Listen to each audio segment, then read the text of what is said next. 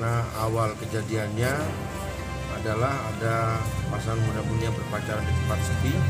Kemudian keempat tersangka ini dengan menggunakan mobil Ayla eh, berhenti di dekatnya, kemudian melakukan penodongan dengan menggunakan korek senjata eh, yang korek api yang yang mirip dengan senjata api. Kemudian mengambil handphonenya, kemudian tugas salah satu dari empat tersangka ini adalah seorang perempuan, dia juga oknum dari eh, PNS salah satu dinas.